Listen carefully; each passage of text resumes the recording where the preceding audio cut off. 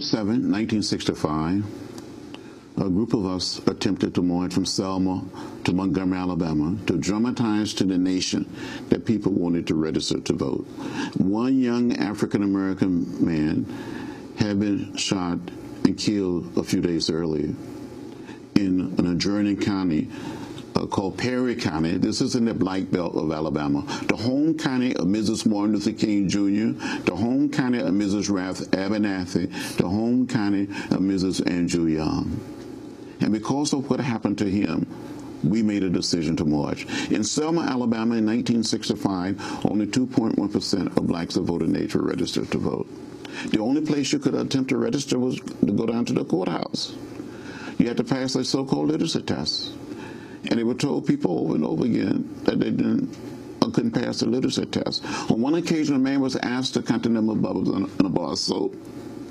On another occasion, a man was asked to count the number of jelly beans in a jar. There were African American lawyers, doctors, teachers, housewives, college professors flunking the so-called literacy test. And we had to change that. So we saw to march. And we got to the top of the bridge. We saw a sea of blue, Alabama state troopers. And we continued to walk. We came within hearing distance of the state troopers. And a man identified himself and said, I'm Major John Cloud of the Alabama State Troopers. This is an unlawful march and will not be allowed to continue. I give you three minutes to disperse and return to your church.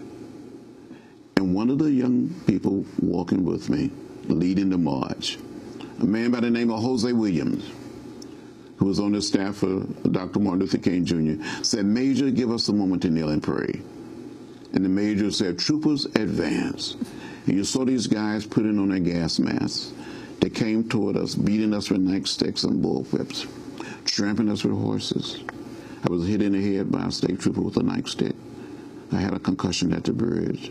My legs went out from under me. I felt like I was going to die. I thought I saw death. All these many years later, I don't recall how I made it back across that bridge to the church. But as I got back to the church, the church is full to capacity. More than 2,000 people outside trying to get in to protest what had happened on the bridge. And someone asked me to say something to the audience. And I stood up and said something like, I don't understand it how President Johnson can send troops to Vietnam, but cannot send troops to Selma, Alabama to protect people who only desires to register to vote.